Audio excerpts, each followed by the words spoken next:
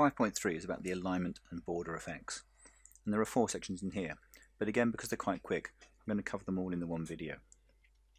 So the key thing for about alignments and uh, setting up what's inside the cells is it's on the Home tab, and you've got the alignment section here. You've got this section, which controls whether words and contents are aligned to at the top of the box, middle, or at the bottom. And if I stretch this one out, you can see what I mean. At the moment, that's aligned at the bottom, see the orange tab here. I can push it to the top, have it in the middle, or at the bottom. Similarly, we can have it on the left, the centre, or the right hand side.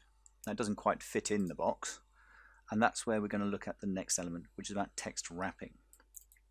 Text wrapping, again, is in this alignment tab, and it simply means where this fractions is leaking out from B to B1 into C1, if we click on the wrap text, it makes sure it fits within the cell and makes the cell taller to allow it to do so.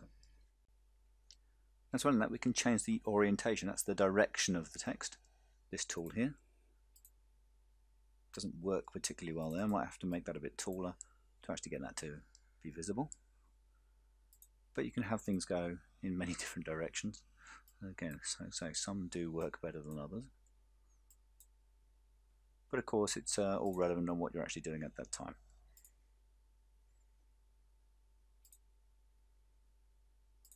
Going back to being normal.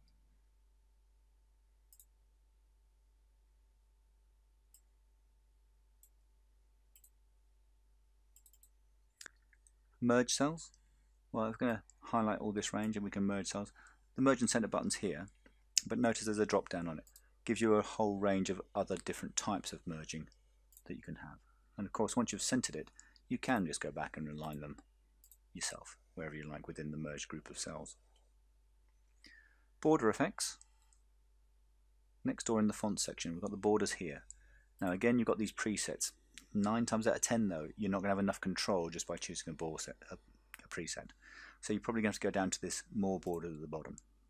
And here you can choose the type, outside, inside, top, bottom, left, the kind of thickness that you want, and whatever colour is you've been asked for.